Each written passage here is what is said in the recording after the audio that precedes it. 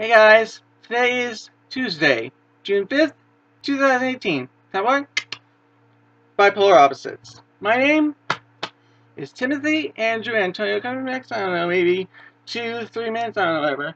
We're going to talking about a topic which is very big these days, which never used to be big. Now before we start off, yesterday we talked about reading for fun, so if you're watching this and say, gee, reading for fun, that sounds interesting, you're saying, you're saying, ugh, reading for fun, reading isn't fun, why would we do that? So, your prerogative. Watch yesterday, watch today, watch tomorrow, watch the hundreds of previous episodes I have. Whatever you want to do, just please finish watching this one. That'd be great. Anyway, who here has perfectly white teeth? Everyone, everyone, I mean, let's of the tissue test. Do I pass? Yes, I passed the tissue test. Yay me! I'll always pass the tissue test. You know why? Because these are so I will always pass the tissue test because they're perfectly white and there's no way to say otherwise.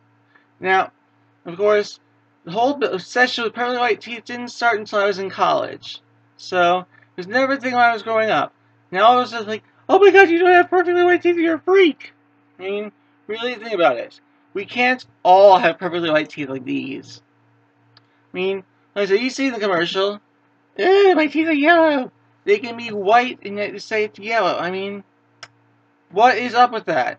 Why? I mean, seriously. Why must we all have perfectly white teeth? It boggles my mind. saying, saying, eh, my teeth aren't perfectly white, that means they're yellow. I mean, seriously, people. Get a grip. You don't need to have perfectly white teeth. It's not cosmetically required. I mean, seriously. Seriously, seriously, seriously. Why? Why the obsession? I mean, when I was a kid growing up, no, there was no need to have pearly white teeth. You know, just teeth. Now all of a sudden, must be white, or else you're a failure. You can't smile. Your smile's ugly. Your face is ugly. Ugh. shaking my head, shaking my head, shaking my head. Well, that'll do for today. Tomorrow, we have another hot topic, uh, another obsession, which I think you watch it, and we're all guilty of it. Can't wait to see you then. Clinton Coven, out.